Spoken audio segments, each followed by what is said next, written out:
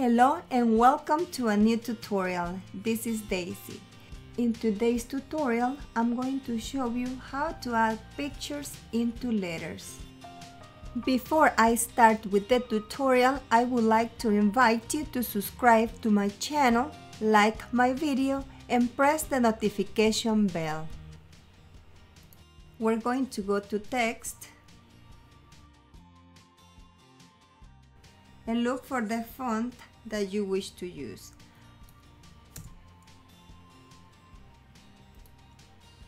I'm going to use Impact. This font is thick and I think is perfect for this project. You may leave the letters like that or you can make them thicker. Since it doesn't give us the option to make it bold, we're going to ungroup and we're going to make it bold using the offset feature. We can regulate the thickness of your choice.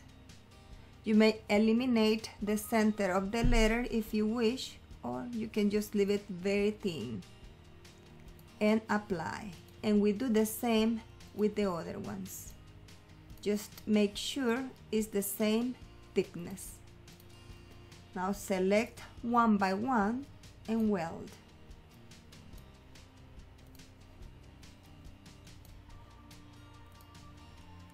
Now we're going to separate them.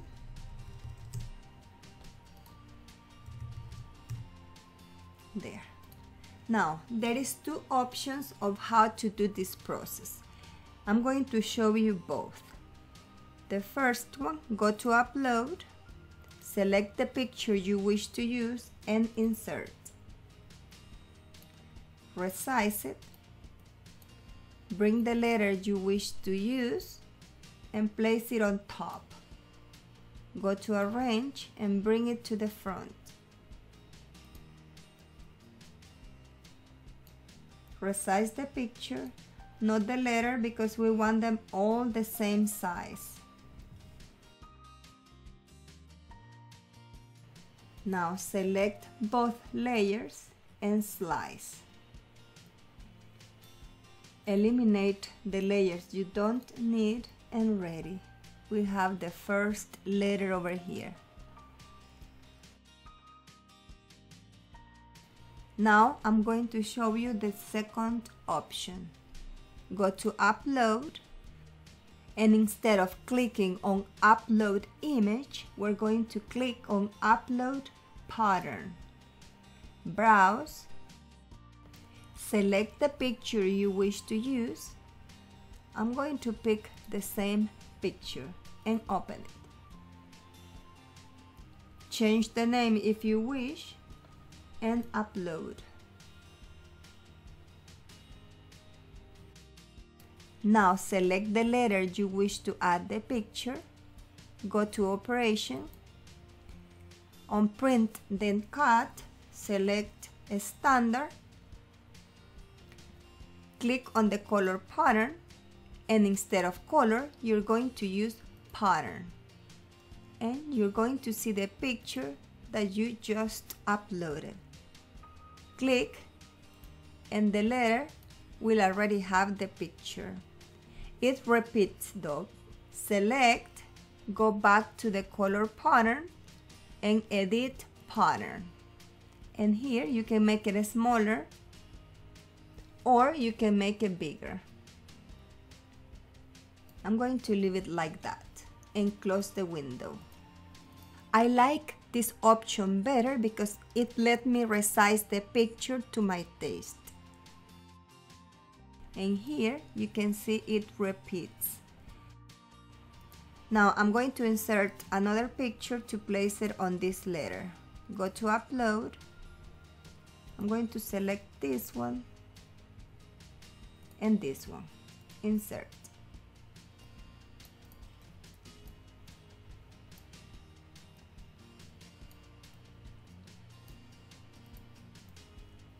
I'm going to bring the letter on top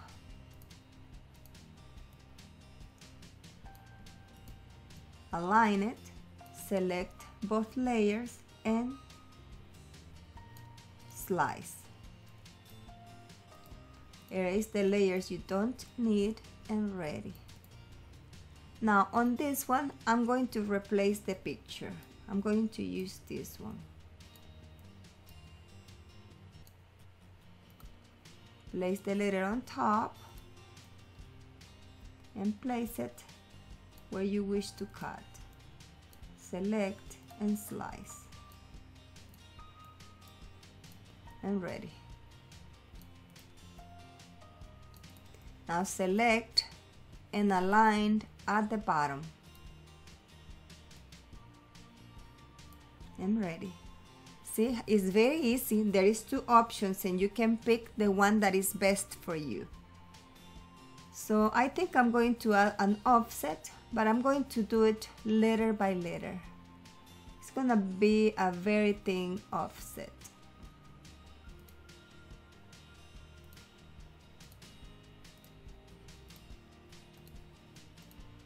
Just make sure it's the same thickness. Now select each of them in group so they don't move and separate them a little if you wish. And there. See it looks beautiful.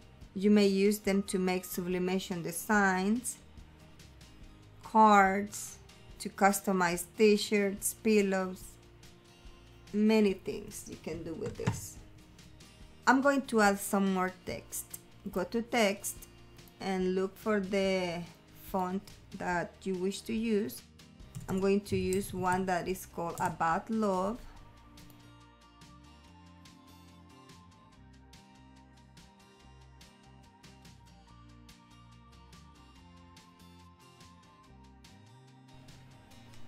I'm going to group the letters in the center then select all of them and align center horizontally change the color. I'm going to use the same color as the offset. And ready. Now it's ready to print.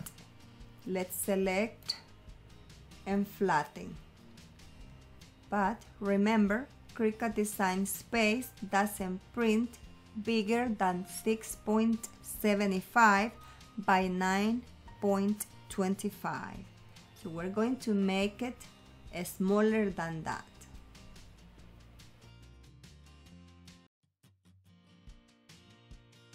Now let's go to print. Make it.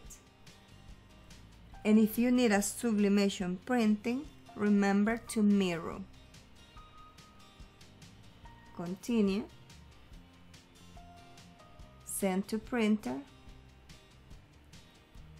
And if you wish to print straight from here, just remove the bleed and print. But if you wish to save the image to print it from another program, go to printer and instead of selecting the printer, you're going to select Microsoft Print to PDF. Remove the bleed and click on print. Name it and save it. Now you already have the design so you can work with it in another program. I hope you enjoyed this tutorial and don't forget to subscribe to my channel, like my video and press the notification bell. Thank you for your visit and I'll see you in my next tutorial.